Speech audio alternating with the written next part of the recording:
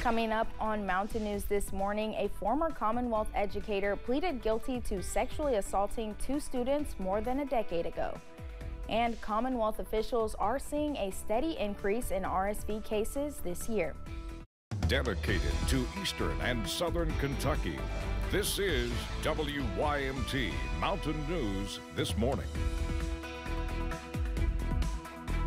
Good morning. I'm Madison Carmouche. It is 6 a.m. on December 1st, 2023. Let's check in with First Alert meteorologist Cameron Aaron for a look at your forecast this morning. Cameron, we already talked about how I forgot my umbrella, but I do have a rain jacket and I think I'm going to need it.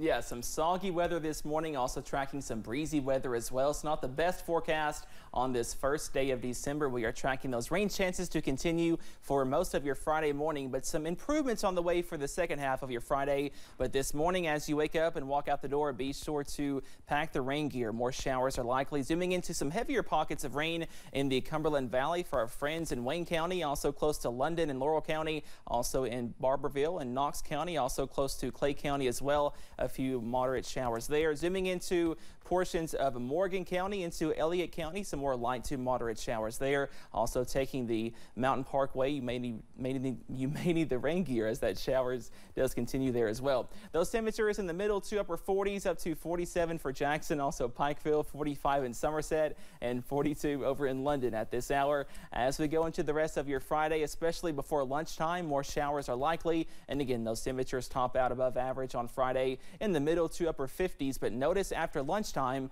a little bit of a break. Only a small chance of a few spotty showers. Not as widespread, though, later on today. Madison? Thank you, Cameron. A former Floyd County educator pleaded guilty yesterday to sexually assaulting two students decades ago. WYMT's Buddy Forbes was in the courtroom and spoke to the assault survivors. Jessica Hensley and Mary Prater stood to the side of the courtroom as April Bradford made her plea, anticipating a word one of them has been waiting to hear since 1997. Guilty or not guilty? Guilty. Freedom. Freedom to those stifled little children that we had, you know, going on in our own bodies. The experience that we were having, you know, today we experience freedom. Freedom for the truth. Bradford, a former educator, coach, and administrator in Floyd County, was accused of sexual assault last year, with incidents that spanned between 1997 and 2007. A person of her position, they didn't want to believe us because of who she is in the community. But we knew exactly who she was. We knew it. And we might have held it in and kept it quiet, you know, all those years, but we still deep down knew. After entering a plea of not guilty last July, Bradford came to an agreement with attorneys, taking a deal that will put her behind bars for three and a half years. I mean, it's just a huge win for us. Um, it's it's been a long time coming. Um, the community seems somewhat divided. You know, people are always hesitant or they refuse to believe when someone like April really puts out this persona. The women say their respective experiences were hard to come to terms with, but knowing they could potentially keep someone else from feeling their pain is worth bringing the truth to light. And that was one comment that kept coming up to us is why, why did they wait so long? And it's very important for survivors of trauma, any kind of trauma, but especially sexual abuse. To, it takes a while to process, and there's a lot of guilt and shame that comes with that and sometimes it, it may take 20 years, but that's okay. And while they will not see sentencing for Bradford until next year, justice was served. The truth will always win in the end. We did this not for revenge, not for anything else other than prevent it from happening to someone else. They found comfort before the court. Finally. In Floyd County, Buddy Forbes, WYMT Mountain News. Bradford will be on the sex offenders registry for the remainder of her life. She is expected back in court February 29th when the woman will have an opportunity to read impact statements prior to her sentencing. Doctors say RSV cases are increasing.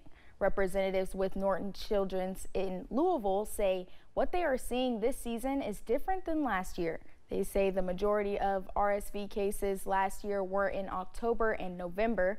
And so by this point, the cases started to trend down.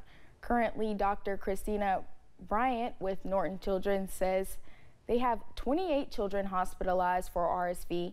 Eight are in the intensive care unit. The majority are under a year of age, and, and that's what we would expect. The youngest is about a month of age.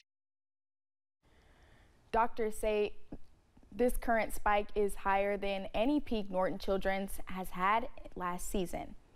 A Southern Kentucky family says it's an unspeakable loss that they believe was so preventable. The Sheriff's Department in Laurel County says a man is dead because of a crash involving a drunk driver. It happened Tuesday night near London. WYMT's Phil Pendleton spoke to the victim's son about the devastating loss. In times like this, Teddy Swanson is at a loss for words. I just want to tell my dad wherever he is.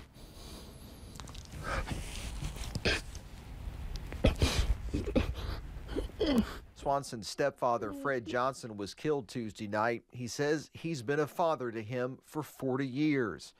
Johnson was simply coming home from working on boats at Laurel Lake when police say a drunk driver crashed head on into him. There are so many people that, that this has, you know, that, that this has completely destroyed. You know, he was, uh, he was a very, very well respected man. He had so many, so many friends, so many family. Wesley Allen was driving the truck that police say crossed the center line and slammed into Johnson's Honda Civic. He took a good, honest, decent, hardworking man away from his wife, his kids, his grandchildren, his daughter-in-law, and we can't get him back. We have been able to get a hold of the court records from this crash, and according to what is in that, Wesley Allen's blood alcohol level was twice the legal limit, and that he even had an open container of alcohol in the truck with him. Allen is quoted in the police report as admitting that he had a few beers before driving and that his speech was slurred. He's charged with murder. You know, he, he's destroyed his life, along with many others. Police say they're still waiting on more lab work as the investigation is ongoing. And in Laurel County, Phil Pendleton, WYMT Mountain News. The funeral for Fred Johnson will be at 2 Monday at Bowling Funeral Home in London. Visitation will be after 6 there on Sunday.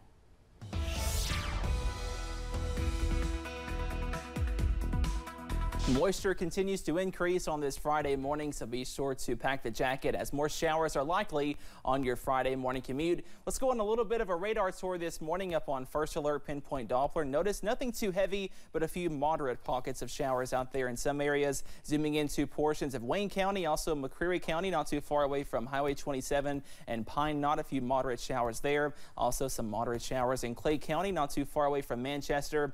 And zooming into portions of Johnson County, just to the north north of Paintsville into portions of Lawrence County, also Elliott County as well. And those widespread showers will continue for the first half of your Friday, all thanks to this weather system the, over portions of Oklahoma, also Texas. That will continue pushing off to the east, so more showers are likely on Friday, especially for the first half of your Friday. And those high temperatures also topping out above average. We should be in the lower 50s. We top out in the upper 50s on Friday. And again, after lunchtime, a little bit of a break as some drier air begins to work work in, but a few more spotty rain chances are possible.